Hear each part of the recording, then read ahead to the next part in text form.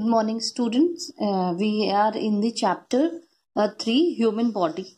In the previous videos, I have uh, told you about, uh, we have read about the parts of the uh, body which is involved in the digestive uh, system. Okay, and today we will uh, see now the process of digestion. See, as the food we eat has that is uh, that will be converted uh, means converted in simple form so that uh, it can be easily observed by the cells. Okay? And this uh, the process of converting food into converting complex food into simple and absorbable form is called digestion. See the process of converting complex food into simple and absorbable form is called digestion okay and now further it is said that when the food in food in the mouth see when the uh, food is in the mouth it is chewed okay chewed and broken down into the yes, a bit simpler form uh, with the help of teeth and then in the mouth only uh, saliva is uh, saliva is secreted by salivary gland okay and what saliva contain? It contains an enzyme called uh, salivary amylase which is also called ptyalin which is also called ptyalin here p p word uh, p uh, alphabet is silent student so it is called uh, ptyalin salivary and uh, amylase is also called ptyalin see here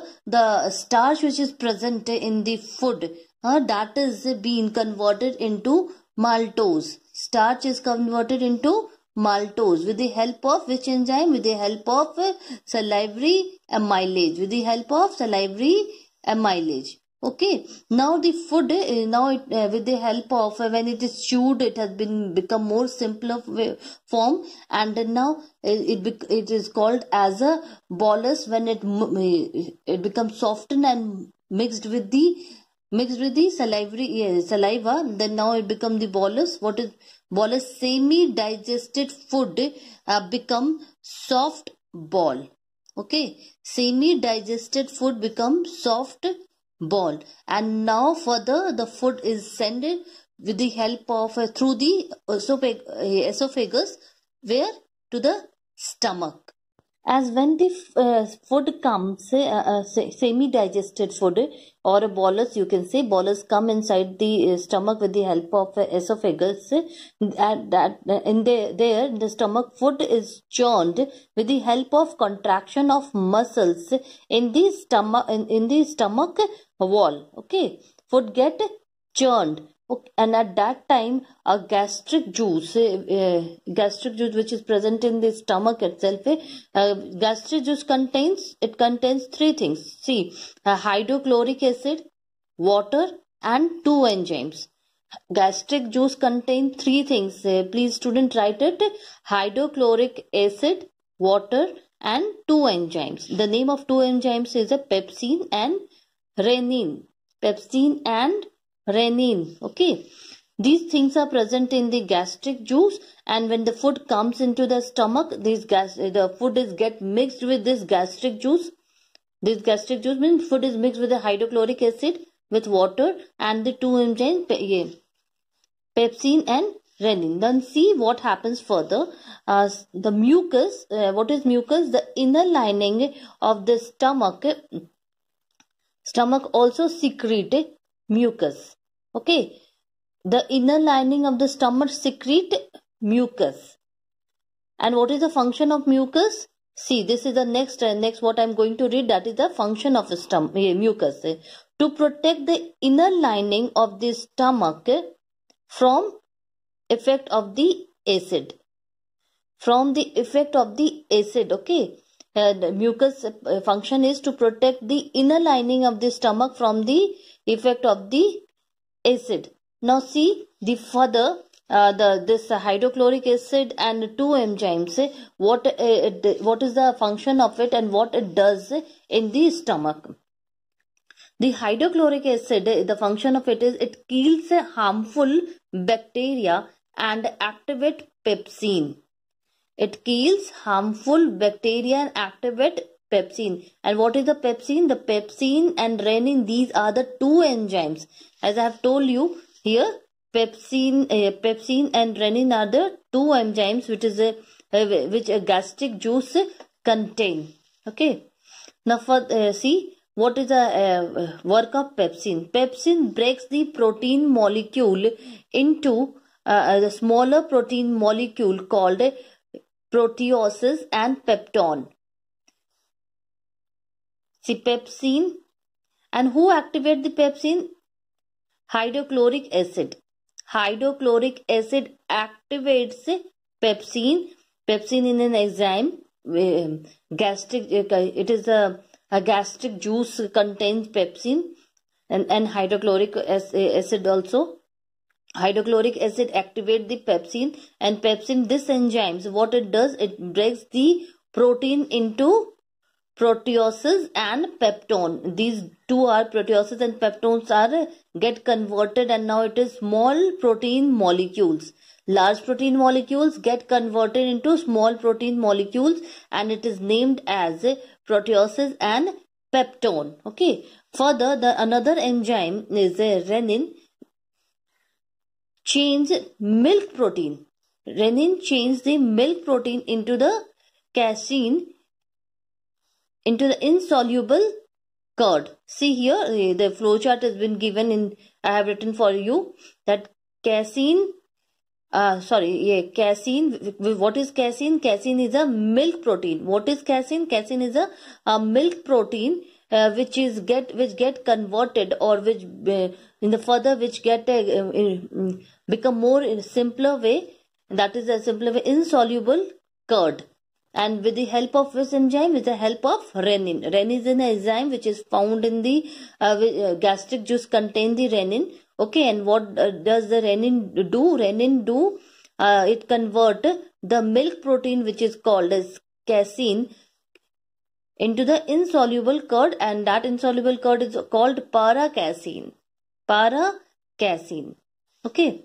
Now see further. Now after the several enzymes act on the uh, food and get uh, the food converted into different things like uh, uh, pepsin convert the, the larger mo protein molecule to smaller one okay known as pep uh, proteoses and the peptone. Then rennin act on the uh, casein which is a milk uh, a milk protein and um, make it into the um, insoluble curd paracasein. Now after that the food that becomes a chyme. What is chyme? Chyme is a food changed into pulp like a thick paste called chyme. Okay, as when in the mouth the food after the starch get converted into maltose then it become bolus. Same way same way in the stomach also, when so many of enzymes act on the different, like act on the protein, act on the um, milk protein, then these all things get converted into some uh, something else, and then it becomes a chyme. Okay, it is that that thing which is present in the stomach now is known as a chyme.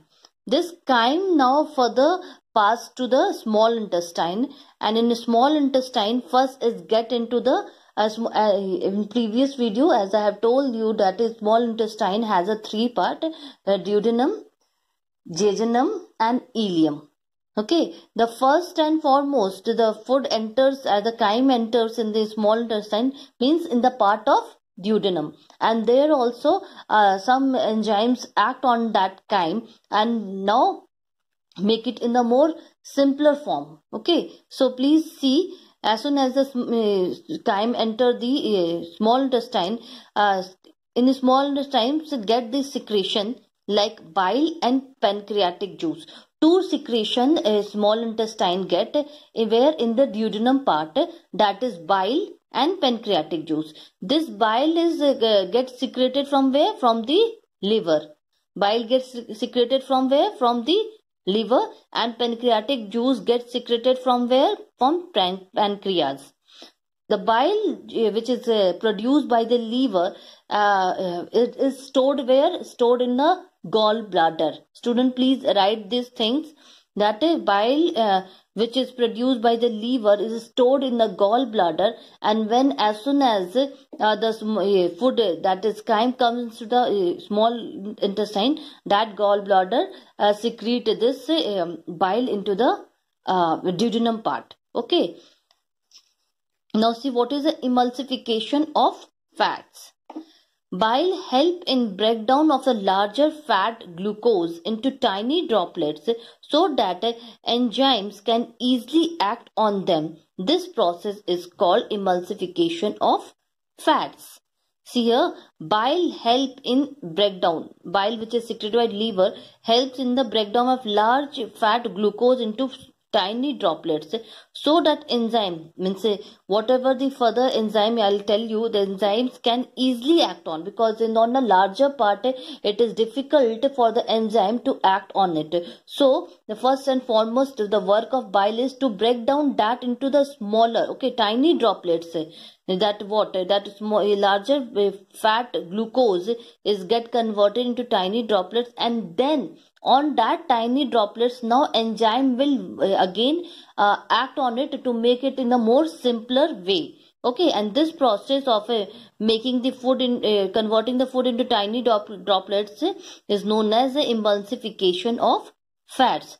Students here we have seen the bile uh, uh, contains sorry break down the fat glucose into tiny droplets and then enzymes act on it. Okay so uh, to activate the enzymes bile what uh, what happened further? Bile contains the medium alkyne to activate the enzymes okay? Enzymes of a what? A pancreatic juice. And what are those uh, enzymes which is present in the pancreatic juice? Does is trypsin amylase and lipase. These three are the enzymes which is present in the pancreatic juice okay? Mid, uh, bile, uh, bile contain medium alkyne to activate the enzyme of pancreatic juice which are which uh, trypsin amylase and lipase. Students now see in your book. Very nicely it is given. Okay. So we will now see from the book. What is the uh, these three are the enzyme which is present in the pancreatic juice and these three enzymes are being activated by the uh, medium alkyne and medium alkyne is present in the bile. Okay?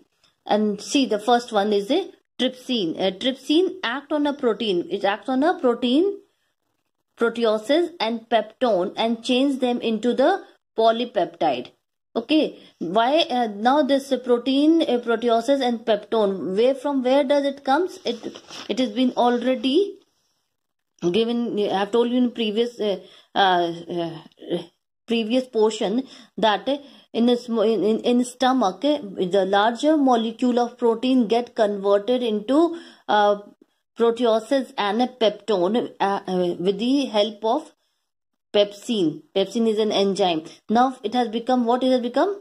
Proteoses and peptone. Now this will be further breakdown into the uh, small intestine. In the which part? In the duodenum part. That is only given here. Okay. Now protein, pep, uh, proteoses and peptone with the help of an enzyme uh, trypsin uh, get converted into polypeptide.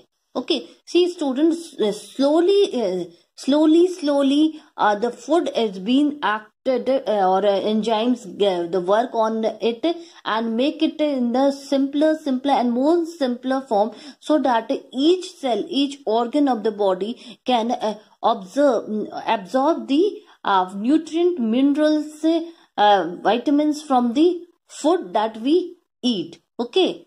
So, so the food make it to absorb that in each part these functions take place. Then amylase act on undigested starch. Okay, the starch which is undigested get uh, changed into the maltose. Amylase act on the undigested starch and change into the maltose. Further, lipase act on the fat. Okay, different enzymes act on a different thing. Trypsin act on a protein, amylase act on undigested starch and lipids act on the fat and change them into what? Change them into the fatty acid and glycerol. Change into the fatty acid and glycerol. Okay. Now further after when these see these all things happened in the duodenum part of int small intestine. Now now now these has been broken down into the polypeptide maltose and fatty acid and glycerol. Now further it will move to the ileum part with the help of the jejunum part okay? These things it is written in a book that moves from the duodenum to the ileum through the jejunum here. Here the food uh, food acts acto, uh, acted upon by the enzymes called erepsin maltase sucrase and lactase these produced by the different uh, gland present in the inner lining of the ileum. And the inner lining of the ileum a finger like projection. As i have told you in my previous video finger like projection is present which is uh, called villi okay? Here the four uh, enzymes are there. Four enzymes which is present where uh, which is present in the ileum part of the small intestine and these four enzymes act on a different enough uh, further to make it more in a simpler way. Okay, change on the peptone as it is a huh, change on the peptone, peptone and peptide to make it amino acid. It becomes now amino acid and the maltase change uh, change the maltose into the glucose. Maltase is an enzyme student which act on the maltose to convert it into the glucose break down into the glucose okay now for yeah, sucro sucrase change the sucrose into the glucose and fructose sucrose the sucrase enzyme act on the sucrose and make it glucose and fructose okay? Then the last is the lactase. Lactase act on a uh, lactose into the glucose and galactose. Lactase is an enzyme which act on the lactose and convert into the glucose and galactose. Okay. See student in the page number 39, eh, whatever things we have studied here in the previous, uh, what happened in small intestine, what happened in mouth and what happened in stomach, eh, it is all summarized and given over here very nicely. Okay. Part by part it is given please go through it so that uh, you can understand it uh, very nice and if you have any doubt please ask to me now moving to the further part uh, now absorption of the digested food okay see 90% of digestion take place in the small intestine. 90% of digestion. Please student jot down the thing that 90% of a uh, digestion is done in the small intestine. Okay? In this when a food get uh, comes in the small intestine uh, to increase its surface area like the villi of the small intestine increase the surface area of absorption of the digested food means food which is being digested here the absorption uh, happens. The process of absorption take place here. And what is the function of villi villi eh, what do, does the villi do? Villi increase the surface area of for the absorption. Student underline this sentence. Villi increase the surface area of for the absorption of the digested food. Villi have the network of very fine blood capillaries for uh, food substances. Are first absorbed by the villi. This will be the also function of villi that first the food substance is absorbed by the villi and then through the blood capillaries they enter the blood stream. This process is called absorption. This process called absorption. Now for uh, again first is come to the food coming to the mouth then it moved uh, there some part of the thing is uh, happened means then it comes to the stomach they had become uh, chyme in the uh, mouth has become the bolus then chyme now it has come to the small intestine and then further in the large intestine. Undigested food will move down into large intestine which absorb the water. Now leftover thing is what? Water which is uh, absorbed in the large intestine okay? After absorbing of the water the undigested food change into semi semi solid feces semi-solid feces which move to the rectum at the end portion of the digestive system. It passes out uh, the body at the regular interval through the anus. Okay, that is the waste product. This semi-solid feces is a waste product which is uh, come moves to the rectum and then finally through the anus is moved out of the body. The process of eliminating undigested food is called egestion. Is called egestion. Assimilation of digested food. What is assimilation? See when the, the uh, all the nutrients and uh, all digested things are uh, being uh, absorbed by the body, absorbed by the different uh, different organ it is not utilized at the same time. All the nutrients all the absorbed thing is not utilized at the same time. That is being stored or converted and then stored okay? So that is called assimilation. That process which is uh, see here it is written not utilized by the uh, body instantly. Some are uh, uh, some are converted into the another form and stored for the later use. That process is called assimilation. See what is being uh, stored and uh, used afterward that is what does the liver do? Liver convert excess glucose into the convert excess glucose into the insoluble glycogen and stores it okay? It convert excess glucose into the insoluble glycogen and store it for the future use and when required by the body. When this uh, glucose has been required by the body which has been converted in insoluble glycogen then what the liver can do uh, the function of liver is to then again convert the glycogen back into glucose. See excess of glucose is converted into the fat and stored in the adipose tissue. Excess of the glucose converted into the fat and uh, stored in the adipose tissue. Further, the fatty acid either provide energy or convert into fats. Okay, fatty acid either provide either it provide energy or get converted into fat and depo uh, deposited under the skin. Okay? And if this fat will be not utilized by the body or it will be no, uh, anything will be not acted on it then this fat is only the reason to become fat.